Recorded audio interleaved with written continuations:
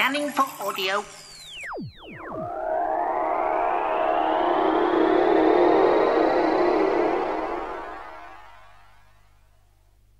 Astrology for the 8th of October.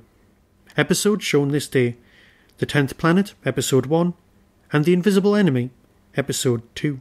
Your astrology reading. Birth metal, silver balaclava. An unexpected twin will arrive to spoil your day in the snow. You are not as young as you were, so wrap up warm. A local hospital will spread disease, while a dog turns out to be more patronizing than its owner.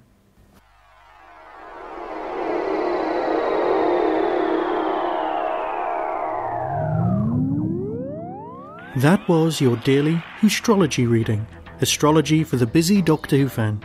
To buy your own copy of the book Whostrology the Time Traveller's Almanac by Michael Gilroy Sinclair, illustrated by Deborah Taylor, simply visit whostrology.com, Telos Publishing, or your local branch of Amazon.